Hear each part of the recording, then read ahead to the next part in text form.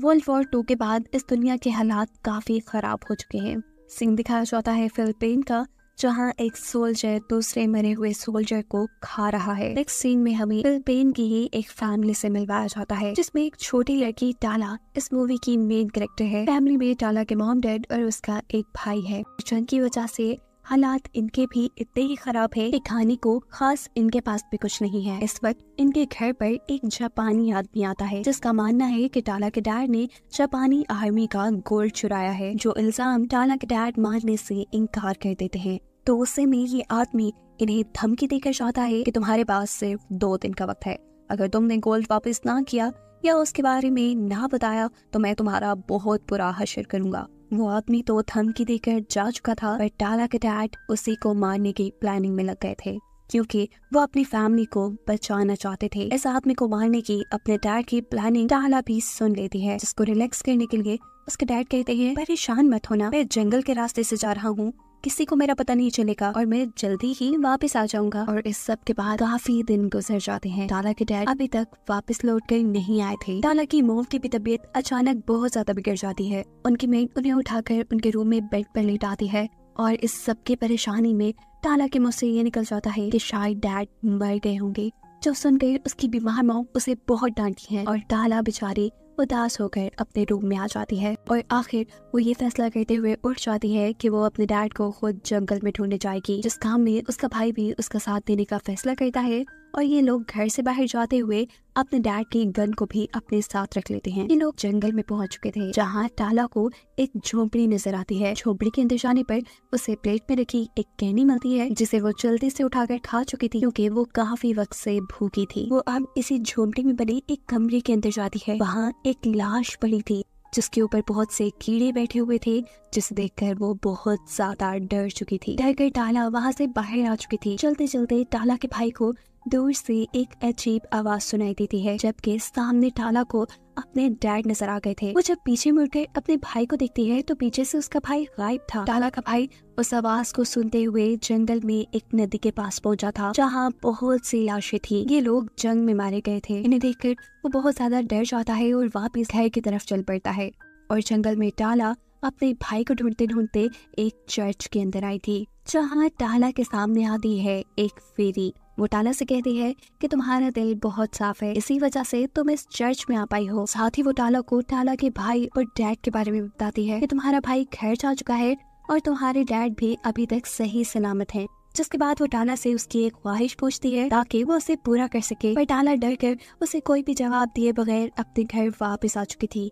घर आने पर टाला को टाला की मोम से बगैर पूछे घर से बाहर जाने की वजह से डांट भी पड़ी थी। वो यहाँ अपनी मोम को बताती है कि मैं डैड को नहीं ढूंढ पाई और उदास अपने रूम में वापस आ जाती है। उससे मिलती है दोबारा वही फेरी जो उसे जंगल में मिली थी। यहाँ फेरी टाला को अपने बारे में बताते हुए कहती है कि मैं सब चाहती हूँ, सब जो यहाँ हो रहा है। मैं ये भी जानती हूँ कि तुम्हारे डैड इस वक्त कहाँ हैं और किस मकसद के लिए हैं। तुम्हारे डैड सिर्फ़ उस जापानी आदमी को मारने के लिए नहीं गए, जिन्होंने उन्हें मारने की धमकी दी थी। वो तो बल्कि अपने दुश्मनों से, यानी अमेरिका वालों से मदद भी लेने के लिए गए हैं। तुम्हारे डैड एक गद्दार है। मैं ये भी जानती हूँ कि तुम्हारी मॉम भी बीमार है। अगर तुम चाहो तो मैं उन्हें ठीक कर सकती हूँ। ये कहकर वो टाला को एक जार देती है और वहाँ से गायब हो जाती है। अब सुबह होती है।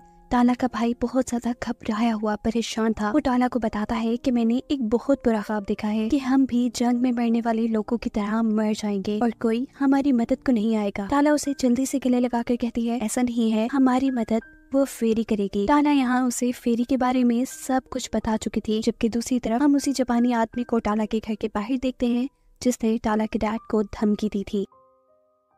यही घर के अंदर टाला की मोम की तबीयत अब इतनी खराब थी कि टाला को लग रहा था कि बस अभी वो मर जाएँगी। कुछ भी ना समझ आने पर वो फेरी की बात मानते हुए उसका दिया हुआ बग अपनी मोम के ऊपर छोड़ देती है। दिखाया जाता है कि वो इस औरत के मुँह में चला जाता है, जिससे अचानक उसकी आँख खुल जाती है। वो इस वक्त पर ज़ोर ज़ोर से खांसती है।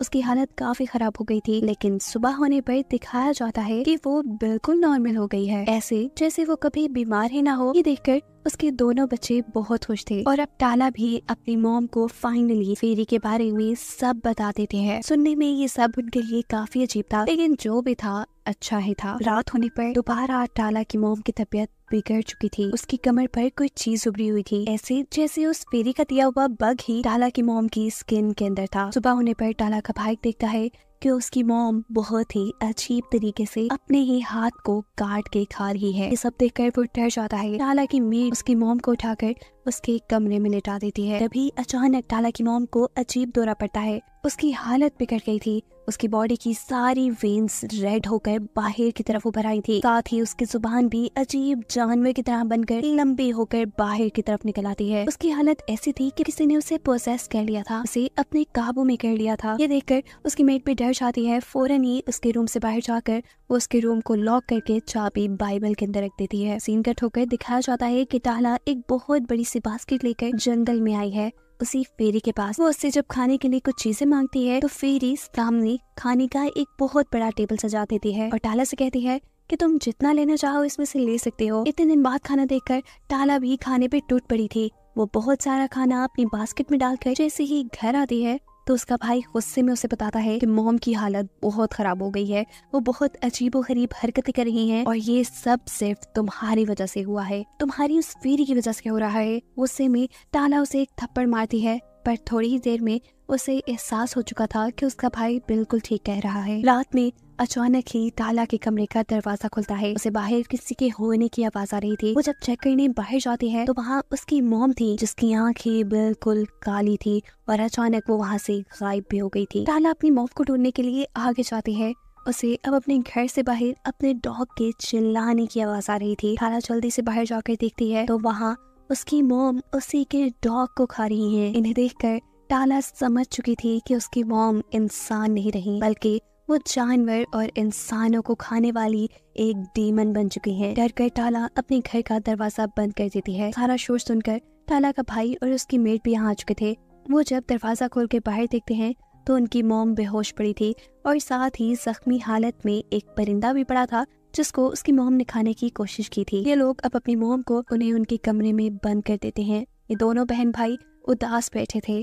टाला का भाई रो रहा था और टाला उसे कहती है, तुम रो नहीं, मैं सब ठीक कर दूँगी। जबकि इनके घर के बाहर हमें वही फेरी दिख रही है जो टाला के मोम के शिकार किए हुए परिंदे को खा रही थी। और इससे हमें मालूम हुआ कि वो भी एक डिमोनिक फेरी है, यानी एक शैतानी फेरी वो फेरी अब घर के अंदर आ जाती है और यहाँ टाला उसे कहती है कि तुम बहुत बुरी हो। तुम्हारी ही वजह से ये सब हो रहा है, मैं जानती हूँ। जिस पर वो फेरी कहती है, मेरी वजह से कैसे? ये फैसला तो तुम्हारा ही था। मैंने तुम्हारी मोम को ठीक कर दिया। लेकिन किसी भी ख्वाहिश को पूरा करने के पीछे एक कुर्बानी तो देनी ही पड़ती है। और इस कुर्बानी के बदले मैंने तुम्हारी मोम को एक डीमन यानी शैतान बना दिया। अब वो हमेशा ज़िंदा तो रहेंगी, लेकिन एक शैतान बनकर। ये सब चीज़ें टाला को पागल कर रही थी। वो फेरी के ऊपर चिल्लाती है और फेरी यहाँ से गायब हो जाती है। सीन कट होकर दिखाया जाता है कि टाला जब बेसमेंट में जाती है तो वहाँ उसकी मेट और वो जापानी आदमी पहले से ही मौजूद था। ये लोग यहाँ गोल्ड ढूंढ रहे थे। टाला को देखते ही ये जापानी आदमी टाला को भी पकड़ लेता है और उससे भी गोल्ड के बारे में पूछता है। पर टाला को कुछ मालूम नहीं था। अपनी बहन को बचाने के लिए यहाँ टाला का भाई अपने डैड की पिस्टल लेके आता है। उसने पिस्टल को जापानी आदमी की तरफ़ ताना हुआ था। इससे पहले कि वो पिस्टल चला पाता, वो जापानी आदमी टाला के भाई को ही शूट कर देता है। उसके भाई का बहुत खून बह रहा था और ये देखकर टाला बहुत गुस्से में आ चुकी थी। वो अब अपने मोम के रूम की चाबी इस जापानी आदमी को देते हुए कहती है कि, जाओ, गोल्ड उस रूम में है जाकर ले लो। टाला ये बात जानती थी कि उसकी मोम अब एक डीमन बन चुकी है और ये आदमी जैसे ही उनके रूम में जाएगा टाला की मोम इसे काट खाएँगी। और ये सारी बातें ना जानते हुए वो आदमी टाला की मोम की रूम की तरफ़ बढ़ जाता है।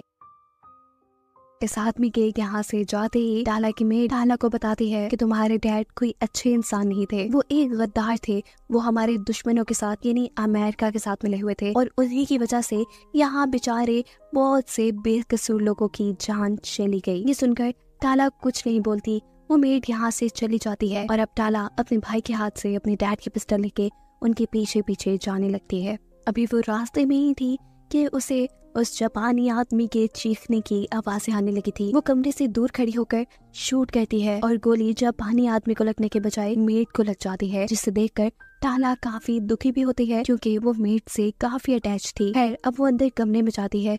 कमरे में कोई नहीं था। वो बाथरूम में जाती है तो बाथरूम पूरा खून से लथपथ था। और उसकी मोम किसी जंगली की तरह जापानी आदमी की बॉडी को चीर फाड़ कर खा रही थी।